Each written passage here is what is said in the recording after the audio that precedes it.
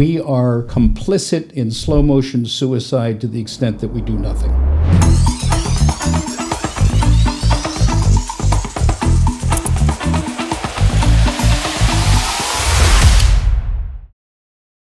Ladies and gentlemen, welcome to The Informed Citizen, where we discuss the biggest problems of our time with the experts and visionaries trying to solve them. This show is for the game changers, the world shapers who believe that to solve hard problems, we must be informed. I'm your host, Philip Lindholm, and I'm thankful to say this podcast is sponsored by Terry Wise and Associates, the premier real estate firm in the Northwest who believes that expertise matters. Our experts today are Sheriff Paul Pastor and attorney Chris Van Vechten, who are here to help us understand policing and criminal justice at a deeper level. I see these two as perfect conversation partners. Let me tell you just a little bit more about each of them. Paul Pastor entered law enforcement after completing two master's degrees and a doctorate at Yale University. He went on to a 40 year career in law enforcement that included 20 years as sheriff of Pierce County, Washington, before his recent retirement.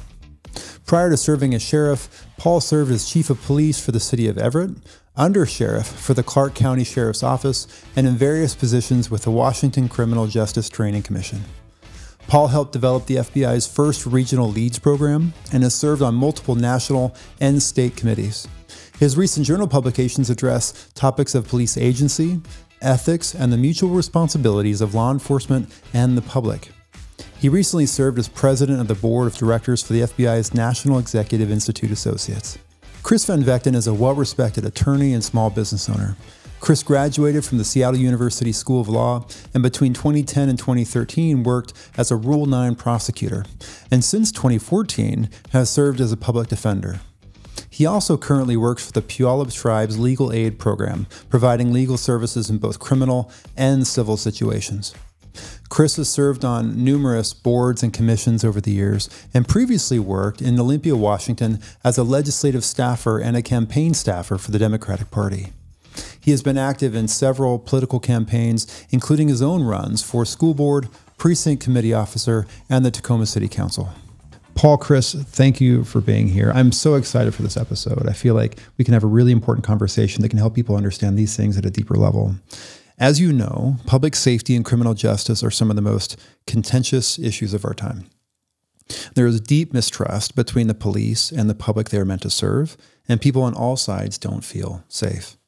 Add to that that here in Washington, from 2020 to 2022, violent crime is up 81.9%. We hit a state record for homicides in 2022, and we're now the eighth most dangerous state in the country.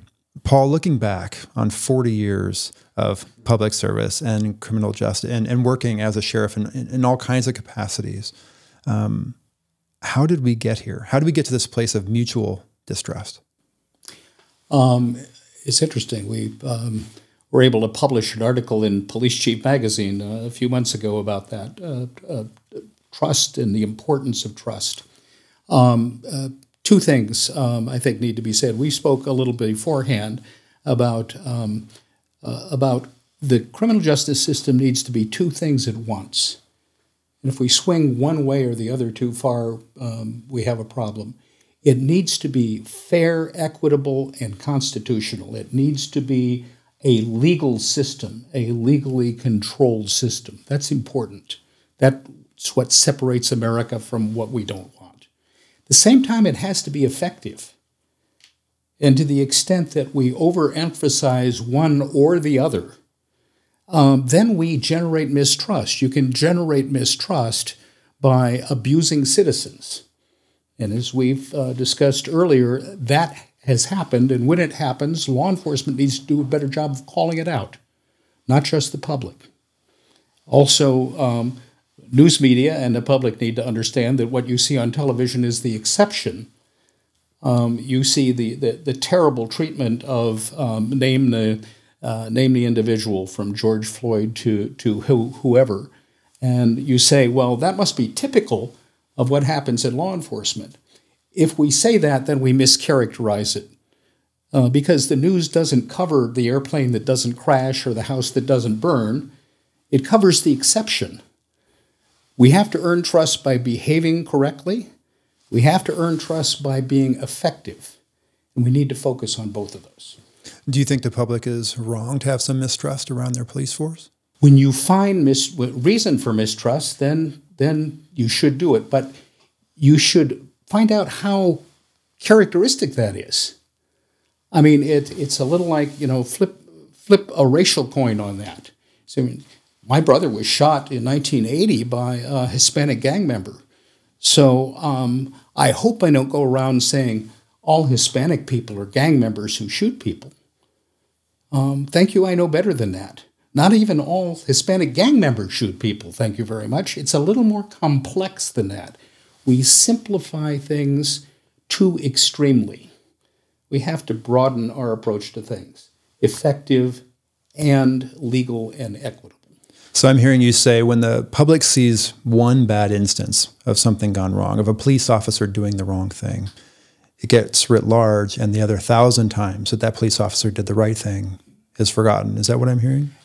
That's true, but I will. Uh, there's enough of a social science uh, uh, part of me left over from uh, years past that yeah, there probably is uh, more um, misconduct than that single incident.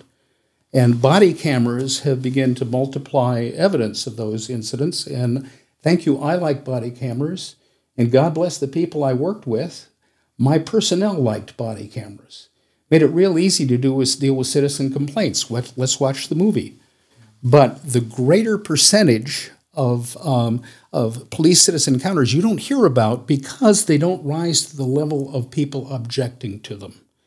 And that's changed and improved, I believe, over the past 40 years. Sorry, Chris. I, I no, I'm, you know, you know, it's um, a lot of things there I agree with. There, there are also some facts that, you know, it, it doesn't matter whether or not it's true, how people feel. It's just how they feel. And I'm, I'm trying to think about myself and my own evolution of how I've perceived law enforcement over my life. You know, my first perception was very negative because uh, when I was an infant, I don't remember this at all, but two men broke into my um, parents' house in Connecticut and robbed him and they later got caught. And it turned out they were both off duty police officers. And that experience was so jarring for my family that it was one of the reasons we moved to the West Coast was to get away from what we thought was a corrupt town with a corrupt police department. We did not feel safe living with that um, reality. Um, so I grew up believing that all police officers were, were crooks. I, I completely believed it. But as I matured and entered the real world and you know, moved to Hilltop and lived in a community where law enforcement was very necessary for me, my um, opinion shifted. And eventually I became a prosecutor and worked with them. And I saw things that prosec- that some police officers did that I was very sympathetic to. And some police officers I thought were heroes who had, um, and I to this day will see through the body cameras, a police officer provide mouth to mouth service to one of my clients who's overdosed, for example, uh, which I, as a public defender, don't know how, if I saw a homeless person unconscious on the street, would I rush to them and provide mouth to mouth? Probably not, in all honesty. So the fact that someone's willing to expose themselves to that in that capacity is truly heroic. I also have seen things happen um, that are um, reprehensible and need to be called out. I think what happened is that um, for a long time there was one narrative, and anyone who suggested otherwise was considered crazy or insane and that narrative, the pool of voices has been expanded. But my frustration, this is this is where I am with it. I, I can remember in 2014 as a public defender going to a, a WADA conference, Washington Defender Association, and we were told by the speaker, whose name I forget, that if the general public knew what was going on in the criminal justice system, they would be demanding change in favor of our clients. But the problem was we public defenders had been trained not to talk about this at the risk of exposing attorney client confidentiality and and so the result was that there was only one narrative the public was always hearing. And so we decided to start talking about legal financial obligations, about bail reform, about the collateral consequences of these convictions, about for profit treatment providers that were setting our clients up to fail and making a ton of money without solving anything. But eventually, I can remember going back to one of these conferences where a speaker um, came up and told us, public defenders, that we needed to, quote, stop fetishizing the Constitution because it was an antiquated document written by a bunch of dead white slave owners that had nothing to do with the real world. And I remembered listening to this and thinking it takes a hell of a lot of privilege to think that way. My clients believe absolutely in the Constitution. It's oftentimes the only thing they have. They believe in the right to confront their accuser, the right to a speedy jury trial, uh, the right to an attorney at public expense, uh, the right to be free from searches and seizures. Where is this guy coming off from? But at a certain point, that narrative, the people who were not at the front of this issue, somehow, either at least in the media or in public policy, took over and it became a police abolitionist movement. But as you say, I don't think the general public is aware of that because those aren't the stories. The time when an officer did right doesn't make the news, generally speaking. And I think that is unfair and is part of the problem. What do you think is the best way for the police to restore uh, public trust? Making sure that body cameras continue to be fully funded, and because um, we eventually will go into a budget shortfall, and that will be it'll be tempting to get rid of that.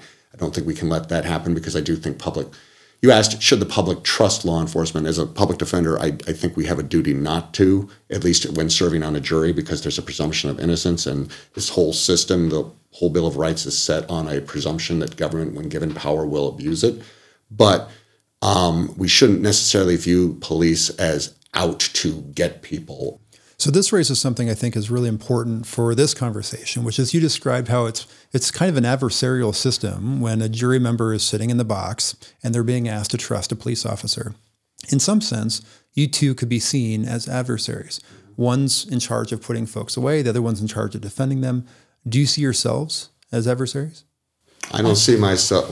I don't think his job is to put people away. I think his his job is to bring people to a jury to let them decide whether they should be put away, or to a prosecutor to see if charges are done. Perfect, perfect. So I'm curious to see. Do you agree with that description? And can you describe his I, th- job? I think it's more. I think it's more general than that. And you say it's adversarial, and it, it should be adversarial. Thank you. In a in a trial context, people deserve this man's protection and this man's advocacy. People deserve my people saying I believe this guy stole the car, and we don't like people stealing a car. His job is important. Uh, we cannot diminish, even as we try to set the uh, the, the, place right between uh, effectiveness and and fairness. We we can't um, uh, we can't badmouth the idea that somebody who is advocating for the fairness things, even if he doesn't personally believe it, is doing something wrong because that's the system that, that we have. It's an adversarial common law system. And I have no problem with that at all. I don't think my job is to arrest people in jail. I told my people that their ultimate goal was to do justice and undo injustice. So there are times when they should be, that guy stole the car, and that guy needs to uh, be held accountable for stealing a car. And there are times that they need to be, you know, he did steal a car, but he did it under duress. And if I don't point that out to, I'm not giving uh, to uh, the criminal justice system, I'm not giving the whole story. So it is more complex than just lock up and let go. And an adversarial aspect of it is, is not only uh, not a bad thing, it's an honorable thing.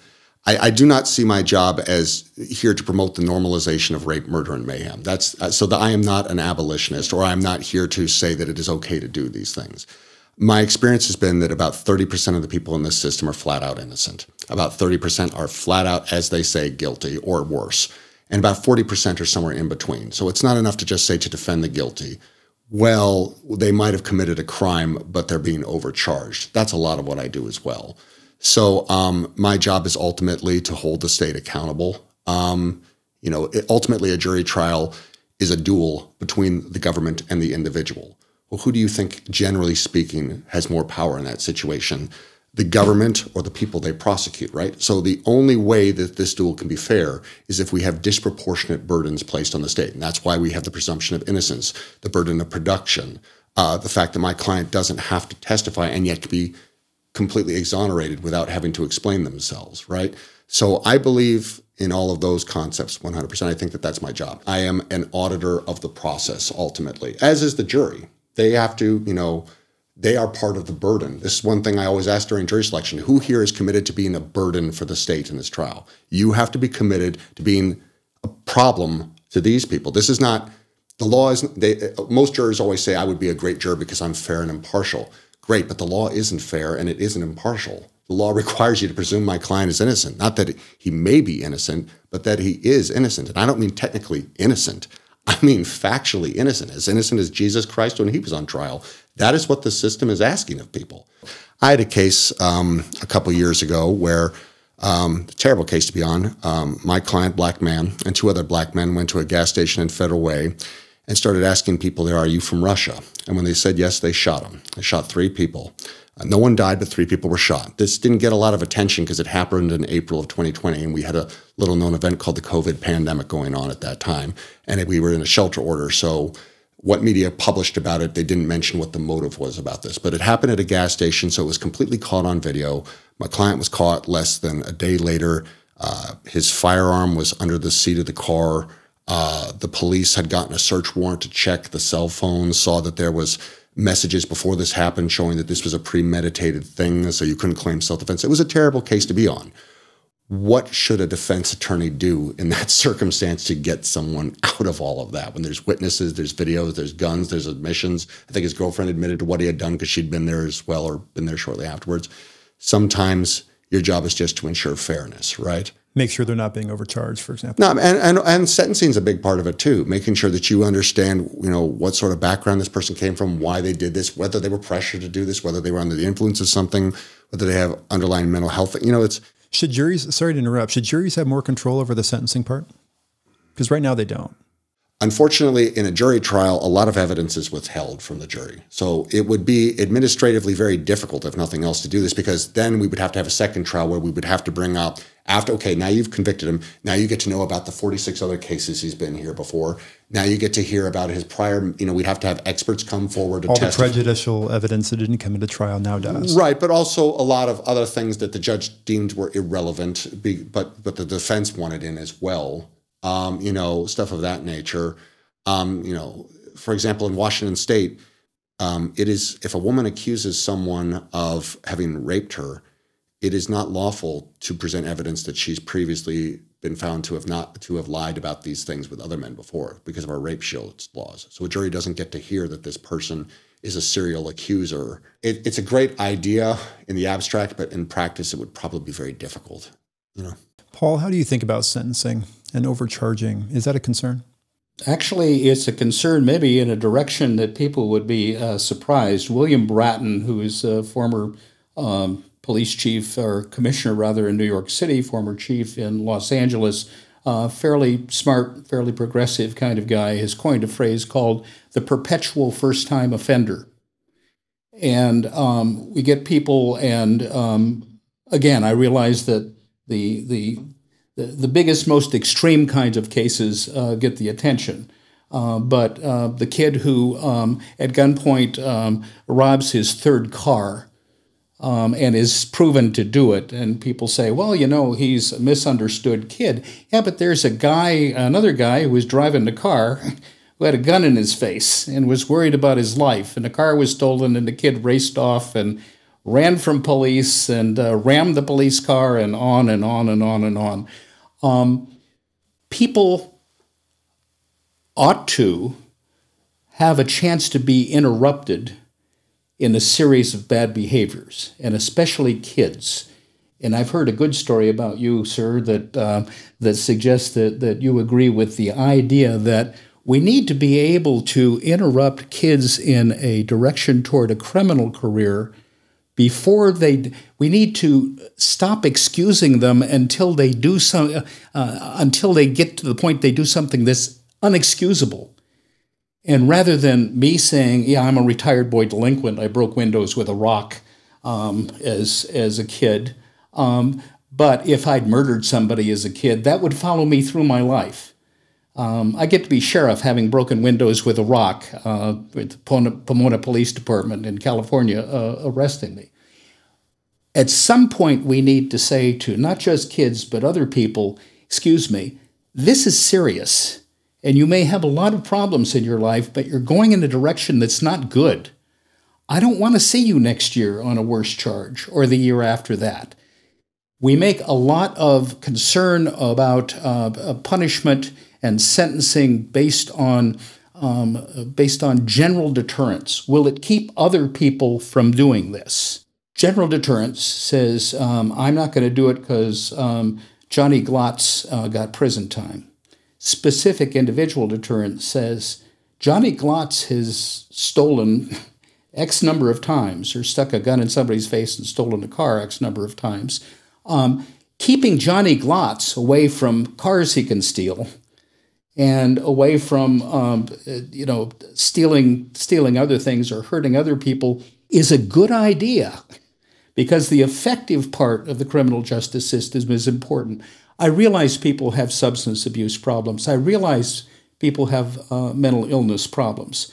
But if that's used as a, oh, so we can't do anything about them, um, so uh, they can't understand the, the uh, charges against them. So what we'll do is let them go, and so they can throw more people down the escalator in the public uh, uh, uh public transit area.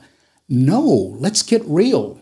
Let's find people and identify people who are getting convicted multiple times and say they're trying to tell us something. I think I told you earlier, my brother was shot in 1980 in Southern California. He was shot by a Latino gang member. Um, this is the third guy uh, that um, uh, this guy had been convicted of shooting. Had been accused of shooting many more uh, than that. Um, and he had served a life sentence in California in seven years. Um, maybe my brother would not have been shot had somebody gotten a hint that this guy is going to do this again and again and again. Um, I was on a sentencing guidelines commission for a while. And one of the things that amazed me was some of the social science that got brought forward. Um, for example, neurologically, supposedly people aren't fully mature in their brain until they're 25 years old. I, object to that just because I've lived in another. I lived in, in Latin America where the 13 year olds are easily as mature as our 16 year olds. This is to a certain degree we delay adulthood and we delay responsibility in this society. But I've heard the Houston Sconiers argument, so yeah. Well, well, you, and I've made it myself. well, it, it, it's fair to make if right, it, that, that's part of your job. I don't I don't resent that. But uh, I'm sitting there being the naysayer, saying, "Wait a minute." Uh, you know, not very many people who are 25 years old get into trouble. And even fewer of them get into serious trouble. And even fewer of them in the course of their 25th year, 24th year, 20th, do it repeatedly. So exactly, exactly how is this exonerating, even if it's true? This topic couldn't be more relevant, right? Because we're seeing juvenile crime in our local community skyrocket, especially through car thefts and other things. And, and some folks are arguing we're seeing a different kind of criminal now, a brazen criminal now that we didn't maybe didn't see 10 15 years ago is that true this this generation was betrayed by the adults for lack of any other we went in 2020 from talking about tuition free college to debating whether or not kindergarten was essential they, they were denied friends they were denied libraries they were denied parks they were told school was not essential because everything in life is a birth lottery anyways um, to justify what was done to this generation and the lack of investment and the lack of prioritizing of them while we had Mariners games open, while we had casinos open, while we had cruise ships open. This just lack of delay has, I think, significantly damaged this generation of kids. And what we saw is that they turned to other things to do. And we saw a hell of a lot of kids Every Friday, they would steal another car. They would just get released at the scene when they got caught. This was fun. They would rack it all up. And now they're being asked to be held accountable after they've, you know, racked up 18 counts as a first time offender because there wasn't an intervention earlier on. How severe did that intervention need to be? You and I would probably debate that. And there are also still, I, you know, I'm defending juveniles now for minor in possession. I think that I, of all the reforms that came out of 2020, I'm amazed we did not decriminalize minor possession. I think it should have been made into a, a fraction, like a speeding ticket. Um, because the only places where this happens to get charged, it seems like, is at house parties in the country where no one's honestly getting hurt or anything of that nature. And there's often a parental supervisor who, yes, is giving alcohol to a child, but I consider that safer than the alternative. Um, and I'm still defending kids for you know fights at school um, the sort of thing that you and I grew up with and was pretty normal. I think that that could be dealt with internally through suspensions, expulsions. It doesn't need to result in criminal convictions, I think. But there are things that should and don't. Right. You stick a gun in somebody's face, you steal their car, and, they, and you say, well, this time we're not going to put you in juvie overnight. We're going to send you straight home. The perpetual first time offender, the forgiveness um, movement, if you will, is doing a disservice not only to the public in effectiveness, but it's doing a disservice because it doesn't send a message, especially to juveniles. You want to create adult criminals? Then keep forgiving juveniles for escalating problems. Let's talk about a case that's very important in this discussion. And I think you were sheriff during the Houston Sconiers time when that incident happened, the Hilltop incident with the four kids went trick or treating. Do you remember this? You know, I, I don't. Help I, I was living in Hilltop at the time. This was 2012. Four kids, the oldest of which was 16, the youngest of which were 12 went around and robbed a bunch of trick or treaters and their parents at gunpoint, right? Now now and and they they stole their cell phones, they stole their candies, they stole their wallets, and it took a long time for the police to get them because Hilltop has a lot of trick or treaters. It's an easy place to do. The suspects were kids wearing Halloween costumes, so the police were looking around trying to figure out which ones are they. And before they finally got caught, they caught, you know, they had robbed like 40, 50, 60 people. I forget the exact number, but each one came with a firearm sense enhancement. And so we had 12 year old kids getting charged as an adult, getting 120 year sentences for each, you know, and that's what resulted in the Houston Sconiers case that basically said that kids under the age of 25 their lack of development and stuff of that nature needs to be taken into account with sentencing because it's not practical to give I may be exaggerating here, might have been 60, 70 year sentence. But for a 12 year old, under those facts, that seemed unduly harsh. What would you think about that? Um, I would think that um, somehow I managed not to rob anybody with um, uh, on Halloween with a with a gun when I was a kid. I broke windows. Right. Okay, I was uh, I was uh, I'm a retired boy delinquent, terribly serious delinquent, but it was driven home to me. Um, uh, not a 25 year sentence, but that's wrong. You're in trouble for doing that. If we get overly concerned with forgiveness in those, not 60 years, but saying, excuse me, we got to find out what makes you tick that made you stick a gun in somebody's face who is, you know, eight years old and take their candy. You know, if if you grabbed their candy bag and ran away, you know, that's that's the kind of uh, scolding situation. Right. You take a lethal weapon and hold it to my kid's head Right. and take his candy. And to be clear, it's one gun among four kids. So, like, you know, you understand it's a group thing here. They're all accomplices and they're all being charged the same, but right. Paul, what do you think we do with those four kids? Um, first of all, um, we separate them, and then we sort them out and say, what's going on with this kid? You know, we get kids who are released to their parents, and that may be the worst place to have them released. They're kids that are grown in families that that. Um, uh, it, I'll, I'll tell you another war story, if you will. I was under sheriff in Clark County. We got a call for a knife fight, uh, which uh, is not a good thing to re- respond to. Um, I was the second unit there. The knife fight was over. The neighbor said, "Yeah, that's Carl over in Unit C, and Carl is he, he's always into something." So we go to Unit C and knock on the door, and we say, "Hi, is Carl here?" And his girlfriend or wife, very young woman, probably late teens at the oldest, with a newborn kid, um, says, "Well, he's not here." And then we hear him here, and we say, "Pardon me, we know he's here." Carl, we need you to step out here. We need to see your hands, okay? We need you to turn around and be handcuffed. We heard that you were involved in attacking somebody with a knife. Can you tell us what what is going on here? Um, in the apartment were three Nazi flags, holes punched in the holes punched in the, the plasterboard wall, um, dishes broken. We worry that 20 years from now, if we come back, that little baby will be holding a little baby, and her husband, boyfriend, whatever, will be um, in a knife fight, and um, my grandson will be arresting um, this person.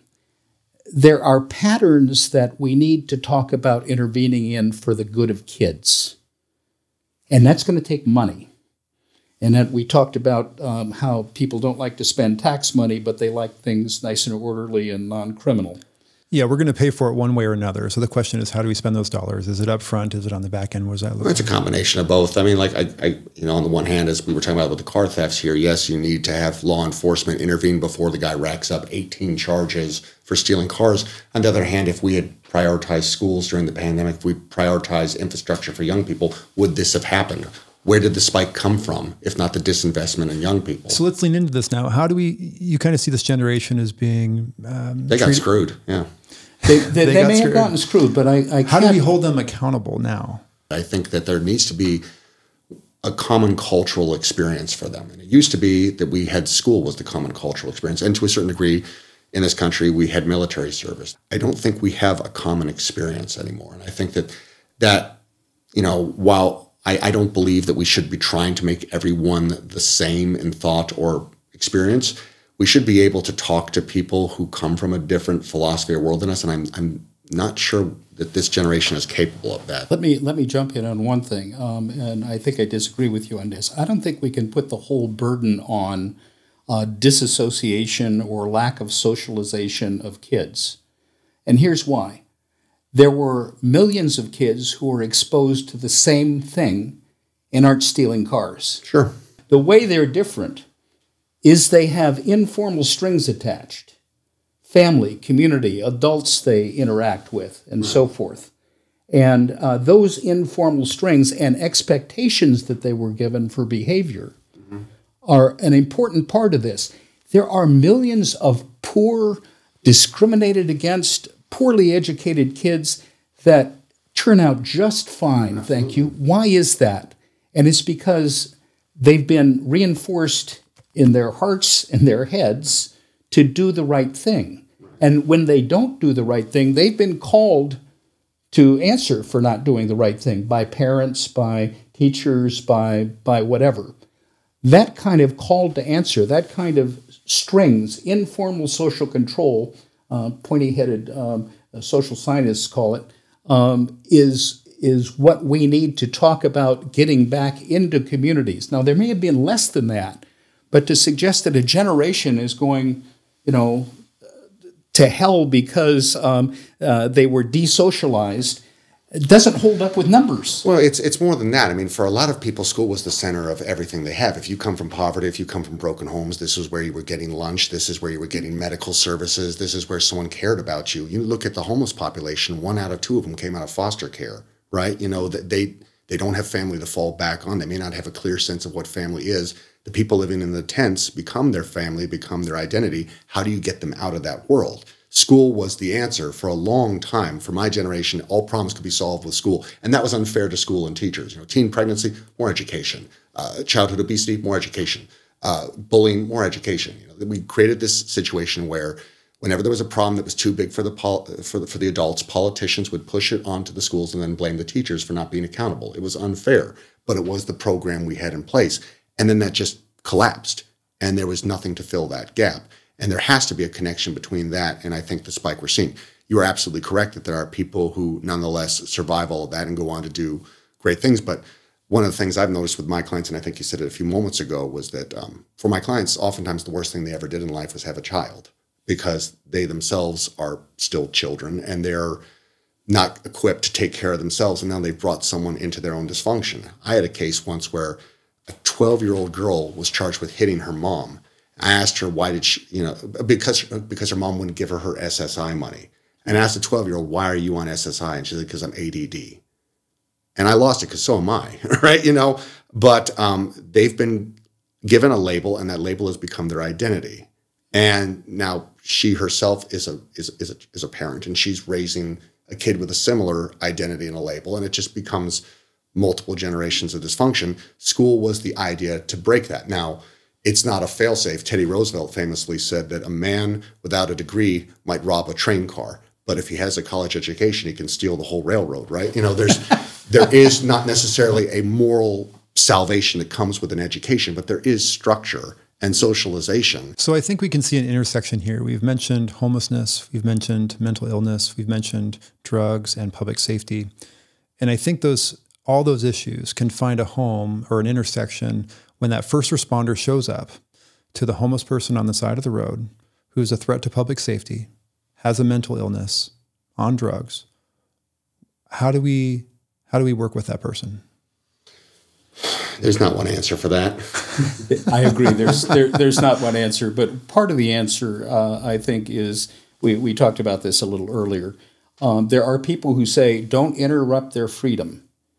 You know, it is important not to violate their rights. Um, and I think I, I referenced a book uh, earlier in our conversation, and, and the book is uh, The Paradox of Liberty. uh, and that is that freedoms always exist if they're going to continue to exist within constraints. In dialogue with other freedoms. And- and- right, and and uh, they bounce against other people's freedoms as well. Um, we have, um, uh, unfortunately, um, and I said this uh, before you arrived. There's this fault line of libertarianism, and there's left-wing libertarianism that says, you know, we have to let people do what what they want and make their own choices. And there's right-wing libertarianism uh, that says, don't raise my taxes, don't get the government involved. And the fault line goes right through homeless camps. Um, and I think we need to do two things. We need to say, yeah, it's going to cost some money. As you talked about, you can do nothing and expect the same, or maybe you can get some um, change.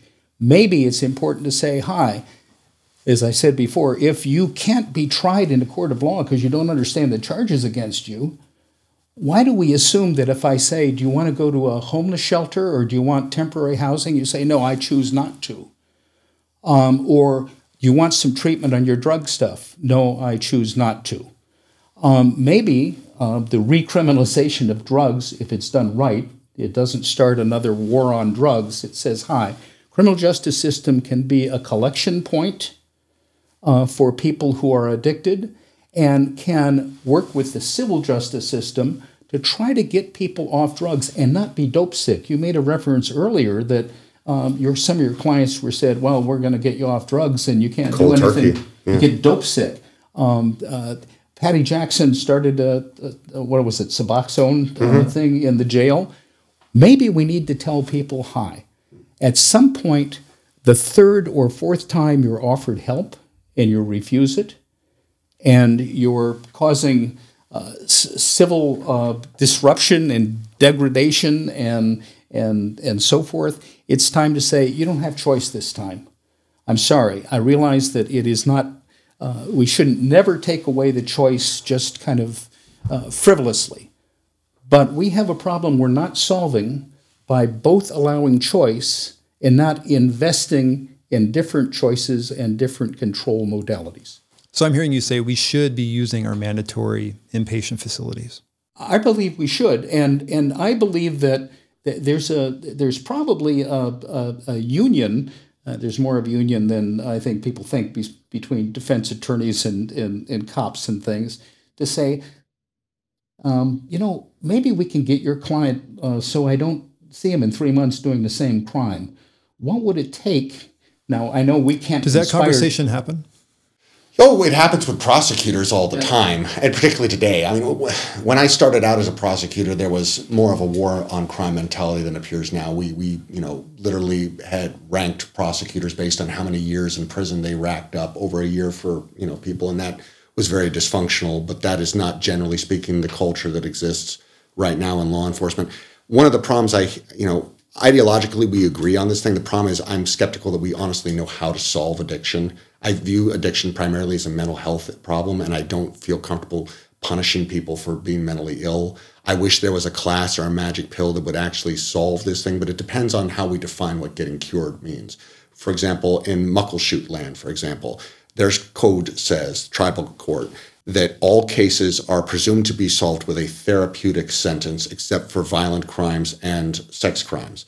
But they're not joking about that. They want total sobriety. You have to go for a complete year of total sobriety of everything alcohol, tobacco, marijuana, um,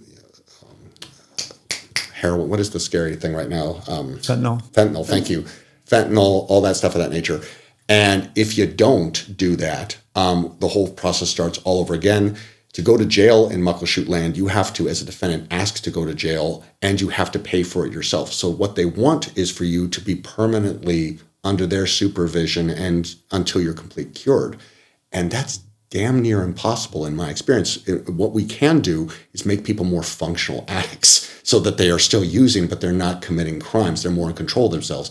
Part of the problem we talk about here is did we really cure someone if they're now on buprenorphine because they're still using a controlled substance, but they're functional. And so what is the difference between addiction and dependence, right? Those are those are two conflicting ideas we have here. So when we tell people that we expect you to change, we need to have an honest idea of how to do that because I've seen a lot of fluctuations in theory of how to do that. I've also seen a lot of very predatory treatment uh, programs out there that make a hell of a lot of money making a lot of promises on what they can do to solve everything from domestic violence to substance abuse to mental health.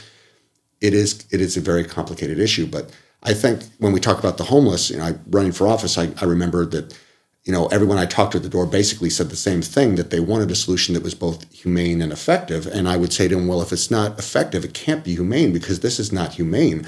I've lost track of how many of my clients have set themselves on fire in these tents, how many have been hit by cars stumbling into the street at night, how many have been the victims of severe violence. Two of my clients this year that I know of have been killed in these camps, one of whom I looked him up had been homeless since 1996 in Tacoma. How can someone be homeless for 28 years if they are seriously looking for services. That is extremely frustrating to me. I, I, we hear endless excuses of, well, there's a shortage of services, you know, or the services don't meet them where they are. All of that is true, but it's hard for me to stand here and say 28 years, nothing worked. You never, you know, tried anything of that nature. So I'm hearing Paul say when that first responder shows up that mandatory inpatient should be a tool in the toolbox. Yes. What else should be in the toolbox? well, okay. Um, a lot of my clients who are homeless, they technically have a home, but they're not allowed to go home because home is where the crime took place, like in domestic violence cases. In 2022, we had 20,000 no contact orders issued across this county, both civil and criminal.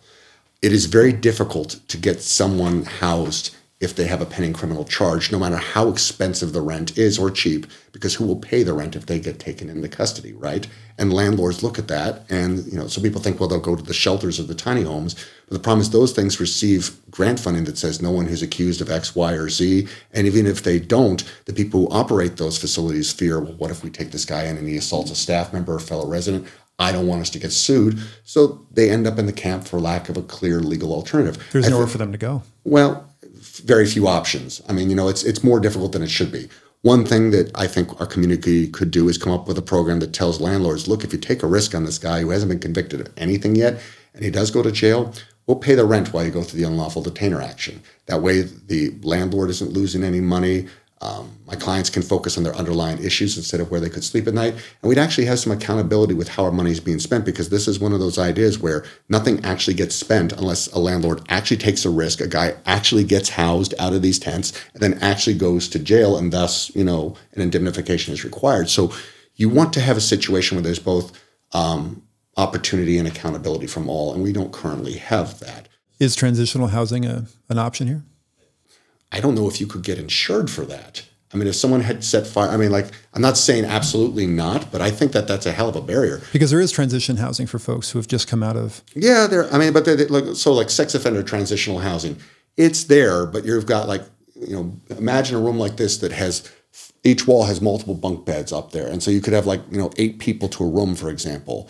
Um, it and some of whom have severe problems. It might make you feel uncomfortable and unsafe and you might opt out for that. I you might rather be in your car, is what.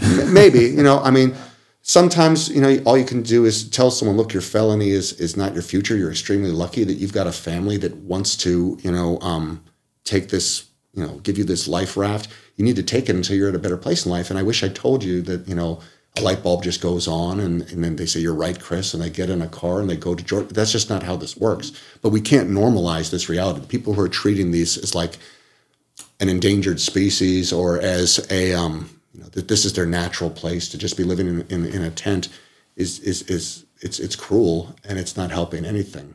But I think the one thing that you and I would both agree with is that we need to get a lot better at data collection because homeless people move around and the data doesn't get shared between communities. In an ideal world, you'd have social workers out there with an iPad. They would just do a thumbprint on the iPad. Up would come this person's file.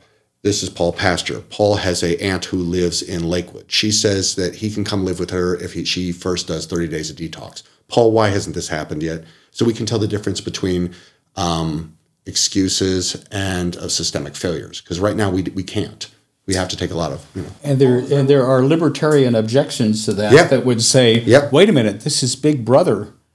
Um, and um, there are times when we have to be very careful of that but again, if we could stop somebody from jumping over a bridge by identifying them and and uh, convincing them not to, based on information that we glean, mm-hmm. uh, we would do that in an instant. Mm-hmm. We are complicit in slow motion suicide to the extent that we do nothing. I would more or less agree with that. So we have these many issues. We have homelessness. We have mutual mistrust between the public and the police that are meant to serve them, drugs, all these things. Let's talk about some of the solutions. Is community policing a solution? Can you tell us more about what that is and uh, and does it work? I would say it is uh, part partly interacting with, consulting the community. I think you mentioned something about knowing who's who in the neighborhood mm-hmm. uh, and who their families are. Um, that's a very good thing, and that's a very good way to police. It's an excellent way to police. It can it protect neighborhoods. It can protect people. Um, and it is incredibly expensive. And if we spend one dollar, are we getting one dollar safer? And and that's that's fair to ask, and I can't I can't answer that in an abstract. It depends. If community policing is you have a group hug meeting in a school gymnasium once a year, uh, no, you're wasting your dollars, even though you're just buying cheap pizza uh, to do it. Um, community policing uh, never went this direction, and it should have. It should emphasize that as a police officer, I owe you a tremendous amount of obligation I should be concerned, worried about how you're doing, how your family's doing. I should be knowledgeable. I should be working to prevent as well as protect. Trust requires that I be able to trust you and you trust me. Now, maybe not initially in an initial contact, but a true trusting relationship is a reciprocal relationship. You have to have money in the game. You can't be a community that sits in the bleachers and cheers or boos the cops. You have to be a responsible citizen who is willing to step forward and say, here's the things I respect and I expect. I expect to be treated decently. Uh, I expect my rights to be uh, looked after, and I expect that um, you're going to protect and, and prevent crime from happening to me. Public safety isn't a consumer good, it's a civic duty. Police officers have a high a high obligation. Defense attorneys have a high obligation. Prosecutors have a high obligation. But we act toward the public like, oh, and, um, you know, um, say nice things about us and wave to us, but uh, don't get educated about issues, don't get concerned, and whatever you do, don't invest money and expect outcomes. This whole podcast is about getting folks informed, about having the conversations we need to have. And we actually just did an episode where we talked about how important it is that the public be not only informed, but involved in their community. But what do you say to the person who says, Look, I have four kids, I have two jobs, I'm just trying to put food on the table. It sounds like you're asking more of me, and I have nothing to give. Um, and you know what? That's that's that's a fair response. Uh, but you do have something to give, actually. Your vote, if nothing else. Um, you, you have four kids. You want to make sure that those four kids know to walk on the right side of the street when they're going to school, okay? Um, your kid gets into trouble, hold that kid accountable. You stole from the teacher's desk, march him up to the teacher and say, Hi, uh, this happened. Um, watch out for your neighbor. I'm not talking about more tax monies right now or whatever. I'm saying, is something suspicious going on in your neighborhood? Okay? Uh, behave yourself. Obey the law as, as a starting point. Um, be willing to testify and participate in the criminal justice system, whether to exonerate or to convict. I don't care because remember, our job with badges on ought to be, as your job ought to be, and I think you have the same goal do justice, undo injustice. Do you think community policing, at least a part of it, is officers being very involved in the communities they serve. Should officers live in the communities that they serve? Um, I worry about that, and here's why. I tell my people um, don't play cop in your own neighborhood. Um, a lady across the street from my house many years ago doesn't live there anymore. I don't know where she got to. Poisoned my dog. Um, my job was not to go over and talk to her about poisoning the dog or even have a neighbor do it. My job was to get somebody, uh, I wasn't going to get personally involved. My job was to say, if this happened, let's have a neutral party come in. You can't play cop in your own neighborhood or your own family, and you shouldn't be expected to, and it's a bad idea. So, Chris, what does community policing mean to you, and does it work? I agree. It's a slogan.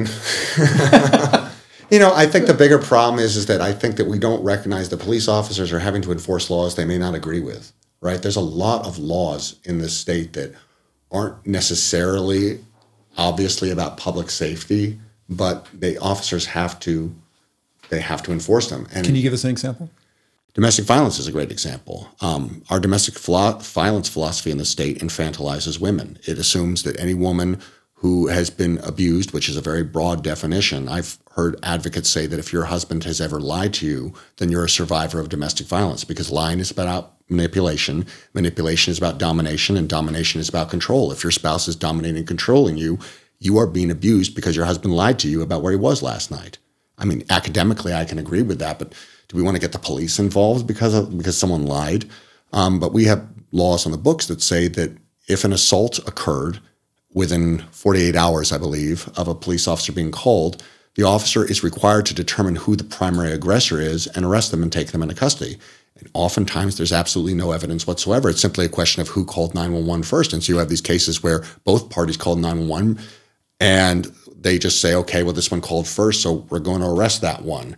I'm sure officers don't feel comfortable with that. And then when they have women saying that they changed their mind and they didn't want this to go forward, tough. I mean, like, you know, I, I have to infantilize you and assume you don't really know what you want and what, what's in your own personal interest and safety because I assume you're being dominated, controlled. I'm sure police officers have a lot of um, negative feelings about that. One thing I thought would be a, a good idea is if we sent marriage counselors to these calls instead with, with officers nearby. But if you could just have a marriage counselor come in there and say, Are you willing to voluntarily leave this house for 72 hours? If so, the police will not show up again. Right? You know, um, that would make less workload for you. It would perhaps promote more trust that law enforcement isn't the problem, but it's the solution. And you'll also get more assaulted marriage counselors. Well, sorry, this is the same question we have around social workers and such too, right? We're sending them out on the front lines in hopes of de escalating things, but what if they can't and they're in harm's way? De escalation is a, a, choice that people make. Um, I like the idea of, is I see nothing wrong with in, involving mental health workers and, and social workers um, in unison, in cooperation with law enforcement, as opposed to is opposed to separately. This idea that if I teach you some things, I'm going to be able to de-escalate you. So we've talked about a softball, community policing. Let's talk about defunding the police. I've heard uh, you, Paul, say that look, a lot of these initiatives that would make communities more safe take money, and this comes at a time when money in many jurisdictions is being taken from the police. What is the defund movement and does it work? I think the defund movement is um, mostly defunct. And I think, um, I think there are still people who raise the slogan, but in fact, it's not happening that much. Why? Look at Seattle. Um, Seattle was burning down police precincts several years ago, right? And declaring a police-free zone because and now police uh, now Seattle is trying to give thousands of dollars to people to grow their police department. Well, I will say, so I'm a student at Seattle University, and there's a class on abolishing policing and abolishing jails. I I don't know. It may not be a strong movement, but it's alive. Well, um, you you have to control for the fact that. Um, uh, there are academics in the world, and uh, sometimes they're simply unplugged. People say, "Well, slave slave catchers are the origin of policing." No, they're not, and that's taught in universities. No, they're not. And all you have to do is go to the Encyclopedia Britannica. You don't even have to go to the internet. You can go to more primitive things that will show you that no, there were constables, wardens, um, um, Back in Roman times, they had police force. It was you know from the military, but yeah, they had a police well, force. In, in, in America, yeah. from the time the Pilgrims landed, uh, there were things. Now, were there slave police? Yes, there were. Were they sometimes uh, blessed and governmentally? Yes, mostly they were private security, though. Um, did they do horrible things? Oh, yes. But let's get real. And one of the things that causes mistrust of police is not being real. Chris, in your view, how would you describe the defund movement to somebody who's never heard of it, not familiar with it, and uh, and does it work? I, I think it's derived from a abolitionist movement that believes that the real reason that all these the, the people become criminals is because of um, poverty and stuff of that nature. And um, if we just provided services to these people, um, you know, that there would there would be no criminality. I don't believe. So take money from the police, give it to services, Right. of various kinds. and, and again, I come back to I believe that uh, poor people don't disproportionately commit crimes. I just believe they're disproportionately policed. I think that we have a social, you know, I think that, you know, racism is real, class warfare is real, sexism is real, and it needs to be viewed, but it doesn't negate the fact that we need police. That's or that we need these institutions. Should we be concerned about embezzlement and white collar crime? Yes. Uh, the idea that poverty causes crime suggests that there, uh, there aren't rich people who are not stone crooks, Right. um, and we should be dealing with them too. But street policing usually can't get those kind of criminals. It's not organized to get those kind of criminals. Right. Should it be? I don't disagree with anything you just said there. I do think the society prioritizes violent crime, and that's why we have to. But I do think that because we have Well, that's my question. Is it a good thing? Oh, I, I think that if you have someone on the street who's committed a murder, yeah, you should intervene by taking them into custody. What should happen to them thereafter is a broader discussion, but you don't want someone who is, you know, just shot three people because they said they were from Russia to just be given a marriage counselor or anything of that. So, nature. do we want police disproportionately placed in those places that have higher rates of violent crime? It has to be. The, the moral thing to do is that. So, Chris, do you agree that we should disproportionately place police where there's higher rates of violent crime? you know, I think that it makes sense to put police um, where neighborhoods are asking for it. I think that the more calls you have is an indication of where police should go. Neighborhoods that have disproportionate law enforcement presence are going to have more arrests, regardless of what's actually happening out there. I'm, I'm convinced that if I were to go down this street, this is a pretty nice neighborhood here, and search through people's houses, I could find something to charge every single one of them with. If you're watching this at home and you want really good information, follow Chris, follow Paul. We'll post their uh, links in the show notes. Thank you for listening. Thank you for being part of this ongoing conversation. And thank you to you both for what you do. Thank you.